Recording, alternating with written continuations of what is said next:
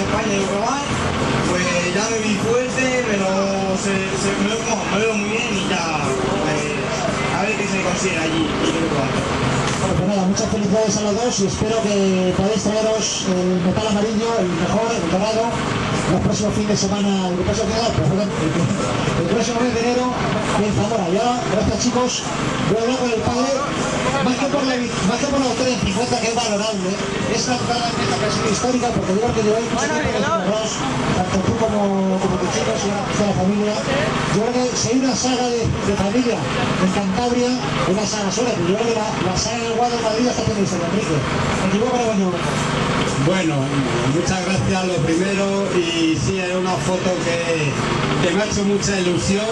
Yo no, no teníamos, no habíamos hablado nada ni nada, el chico me ha pasado y he visto que se ha entretenido un poco para tirar de mí y le he visto con la intención de que llegáramos juntos y me ha hecho especial ilusión en- entrar con él.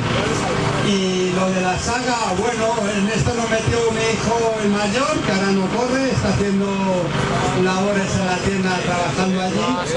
Y, y este él me, él aficionó a mí y yo aficioné al pequeño y veremos a ver hasta dónde podamos llegar. Ahora ya hemos hablado con Víctor hablando de ti.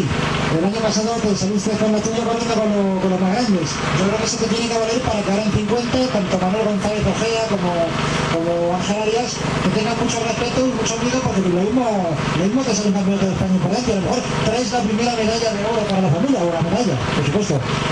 Uy, eso es un sueño, pero estamos ahí. Yo me he dado cuenta, el año pasado mi incursión en élite fue una ilusión que tenía. eh, había corrido en élite, empecé muy tarde a correr en el ciclocross y me hacía ilusión eh, este último año de Master 40 correr, correr con los élite y no me arrepiento porque me lo he pasado realmente bien. Eh, en este año el Master 50 sabía que iba, empezaba muy justito de preparación, pero como dicen los toreros, eh, poco a poco me he ido gustando, me veo bien, me encuentro muy bien y espero que para el Campeonato de España por lo menos que les dé guerra. Pues eso esperamos y que os traigáis, os traigáis, y si es un par de medallas, mejor, digo yo, ¿no? Muchas gracias, serían para Madrid y para nosotros, para nuestro equipo y para nuestros patrocinadores un orgullo. Pues nada, sí, muchas gracias Enrique. Retomamos de nuevo la narración. y bueno, eso va a. La carrera se ha demostrado que lo- estaba entre vosotros. Y sobre todo me ha gustado tu carrera porque tú has venido desde atrás. Tanto Paco como los dos valencianos han ido, pero tú has ido poco a poco y al final has jugado tu baza de la sorpresa y has ganado. ¿Cómo ha sido en general esa, carrera? ¿Cuál ha sido tu estrategia en general?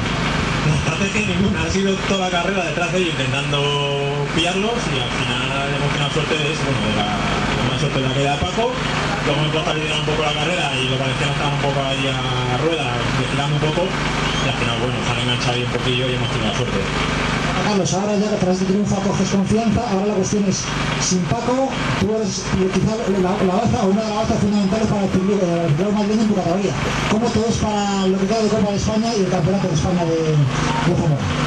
Bueno, pues eso, intentaremos seguir poco a poco y a ver qué tal y pegamos pelotazo ya en el Campeonato de España y traemos el oro. Tienes la solidez de que eres una baza fácil, fácil de apostar en el sentido de que pides justo bronce. Ahora ya te quedan dos peldaños. Intentaremos, intentaremos, a ver qué tal será. Espero que sea así. Muchas felicidades, Carlos. Muchas gracias. A ti, cuídate.